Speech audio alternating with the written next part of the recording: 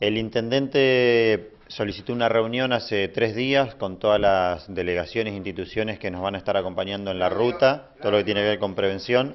defensa civil, eh, la Agencia de Seguridad Vial de la provincia, tránsito municipal, gendarmería,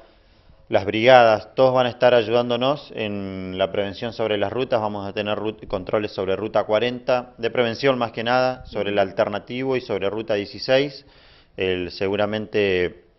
estarán guiando a la gente para que venga despacio, que tenga precaución a la hora de, venir, que no sobrepase porque va a haber filas de autos seguramente el viernes, sábado y domingo, esperamos mucha gente, ya el fin de semana este hubo muchísima gente que nos estuvo visitando, estuvieron las capacidades de las plazas que tenemos todas cubiertas, casi las 2.200 plazas cubiertas, así que esperamos lo mismo para la fiesta,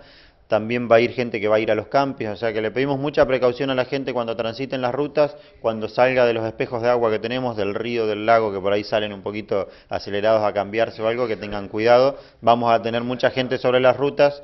este, policía también nos va a estar acompañando, así que esperemos tener unas tres noches tranquilas en materia de tránsito y seguridad vial. Ramiro, recordamos que el alcohol está prohibido en los comercios durante esos días que solamente se permite en el predio. ¿Cómo están trabajando? Sí, se comunicó a todos los eh, comerciantes de la localidad que la ordenanza que prohíbe la venta de alcohol durante esos tres días,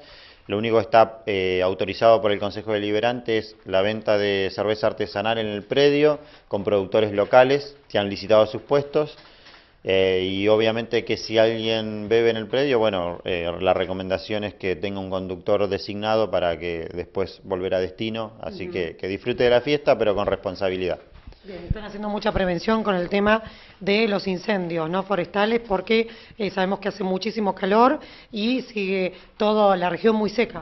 Así es, este, si bien tuvimos un invierno bastante lluvioso, la temperatura de los últimos días está bastante seco todo, le pedimos precaución en los fogones, la gente que va a ir a acampar al lago, al río, a la pasarela, en todos los, bueno, en todos los campings, más los que son libres, este, que tengan mucha precaución a la hora de hacer un fogón, que lo hagan en, un fogón habilitado y que apaguen después como corresponde y las brasas que no queden brasas encendidas, porque eso es riesgo de incendio. Eh, y bueno, ya sabemos lo que nos provoca después eh, un incendio gigante en, la, en los bosques que tenemos.